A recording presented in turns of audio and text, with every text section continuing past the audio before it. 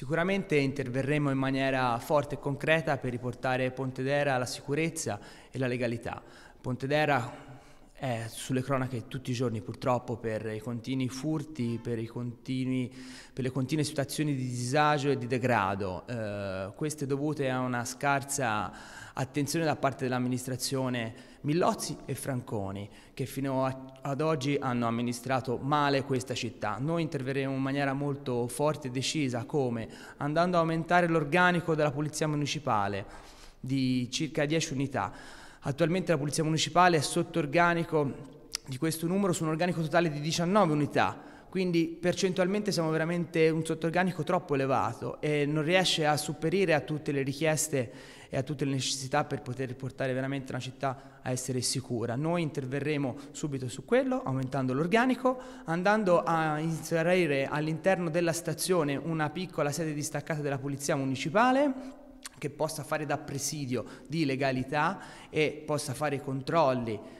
nel quartiere stazione e nel quartiere del villaggio e contemporaneamente anche nelle frazioni, perché a differenza dell'amministrazione uscente, per noi i cittadini delle frazioni non sono cittadini di serie B, ma sono cittadini di serie A e quindi inseriremo anche una stazione della Polizia Municipale, una piccola sede distaccata alla rotta, dove prima c'era addirittura la stazione dei Carabinieri.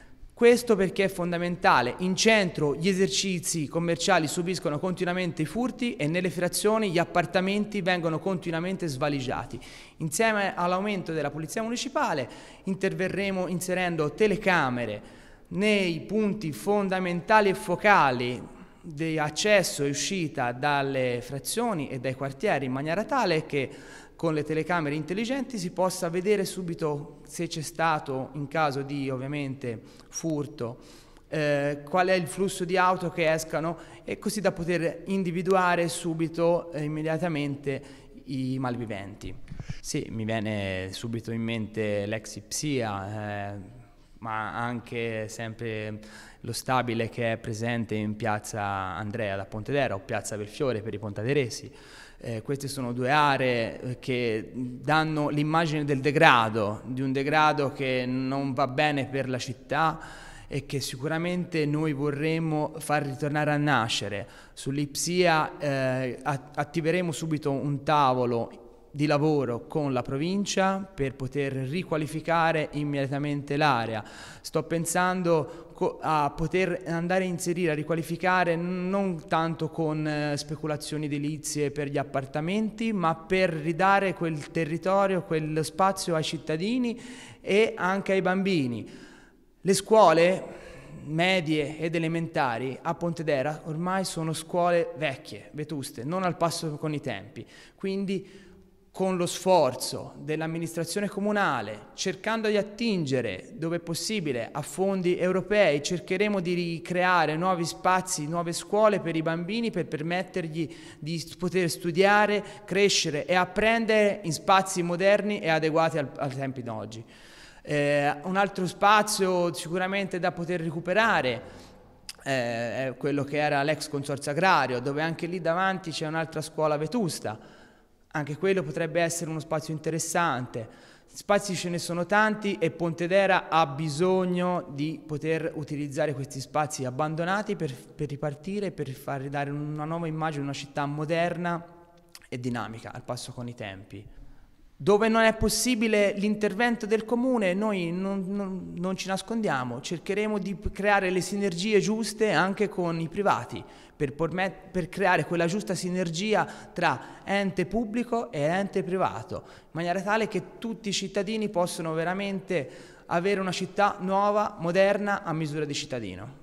Sì, l'amministrazione è stata totalmente incompetente in questo campo, mi dispiace dirlo, ma sono i dati di fatto. I negozi storici abbandonano Pontedera, vengono sostituiti temporaneamente da catene, mordi e fuggi che non rilasciano niente per la città se non qualche piccolo posto di lavoro, ma anche quello in maniera temporanea. Perché? Perché l'amministrazione non ha mai saputo dare una linea guida da seguire, ma è sempre stata buona solamente a fustigare, a puntare il dito contro chi provava a fare impresa. Noi abbiamo una concezione totalmente diversa. Eh, noi, il, per noi il comune deve essere l'amico di chi vuol fare, di chi vuol fare impresa, di chi vuol fare commercio, di chi vuol dare posti di lavoro. Pontedera era famosa in tutta la Toscana per eh, i suoi negozi e deve tornare a esserlo. Come? Noi prevediamo di dare incentivi per chi vorrà prendere fondi sfitti, eh, prevediamo di dare incentivi ai cittadini per venire a fare shopping in Pontedera invece di andare nei centri commerciali. Come? Semplice. Il sabato pomeriggio i cittadini parcheggeranno gratuitamente in Pontedera, così da poter venire senza problemi in centro, fare un bel giro sul nostro corso, fare shopping nei nostri negozi, prendersi un caffè o un aperitivo nei nostri locali. Pontedera deve tornare a essere la perla del commercio per tutta la provincia di Pisa e per tutta la Toscana. Lo sport è un punto fondamentale per noi perché crediamo tanto nei giovani, nella famiglia e di conseguenza lo sport deve andare di pari passo con questi argomenti. Eh, sarò sincero, è inutile fare promesse faraoniche, non vi prometterò che si, ra- si, costruirà un mega palazzetto dello sport, perché i bilanci del comune parlano chiaro, grandi risorse non ci sono, a meno che un facol- arrivi un facoltoso imprenditore e ci doni un palazzetto, ben venga, noi siamo i primi, però bisogna essere anche un po' concreti e reali e sinceri. Quindi, opere da fare, abbiamo una bella piscina olimpionica, Peccato si può utilizzare solamente nel periodo estivo. Prevedere una copertura per poterla utilizzare anche in altri periodi potrebbe essere sicuramente un, un percorso da fare e cercheremo di portarla avanti. Il palazzetto dello sport ha bisogno sicuramente di una ristrutturazione e di un adeguamento per permettere anche ad altre attività sportive che sono presenti nella città di poterlo usufruire. Penso a attività come la ginnastica, attività come le arti marziali, tante attività che oggi sono sempre state un po' escluse dall'utilizzo di questo palazzetto, ma penso anche alla piscina che eh, ormai il nuoto è diventato anche un hobby, un bel passatempo e secondo me non deve avere un orario prettamente collegato a quello che è l'orari quasi scolastici con le chiusure pasquali e via dicendo. È assurdo, ci sono eh, giovani e meno giovani che comunque sia dello sport ne fanno anche uno stile di vita e quindi bisogna permettergli di potersi allenare anche al di fuori dal calendario eh, scolastico. Altro progetto che abbiamo per lo sport è uno sport popolare, ovvero andare a riqualificare quelle aree come il Parco dei Salici, come il Parco delle Fornaci della Rotta, con attrezzature sportive all'aperto, dove tutti possono utilizzarle gratuitamente per tenersi in forma, dai più piccoli ai più anziani.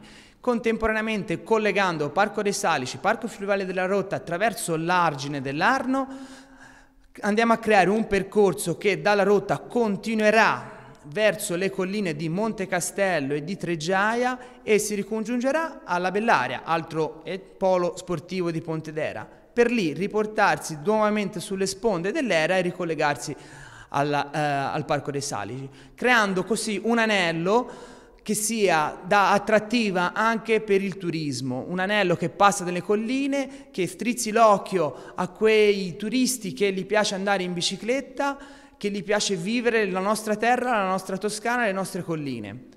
Pontedera ha tirato remo in barca perché qui l'amministrazione ha sempre cercato di dire agli imprenditori come dovevano fare gli imprenditori. Ecco, questa è la strada più sbagliata. Noi non dobbiamo dire agli imprenditori come si fanno gli imprenditori, ma bisogna dare gli strumenti agli imprenditori per poter lavorare nella miglior maniera possibile.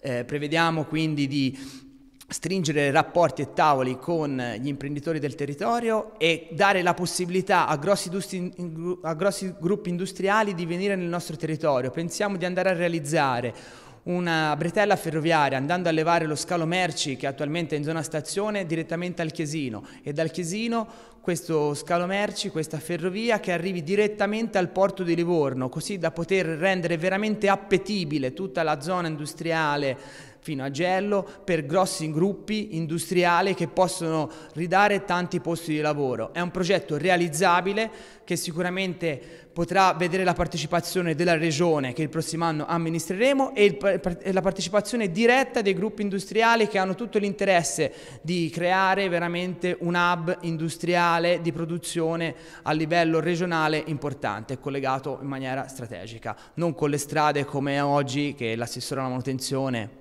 ha ben trascurato, abbiamo una zona industriale che è un groviera, quindi qui veramente dimostra come ha saputo amministrare e a fare quello che ha fatto fino ad oggi. V-Trend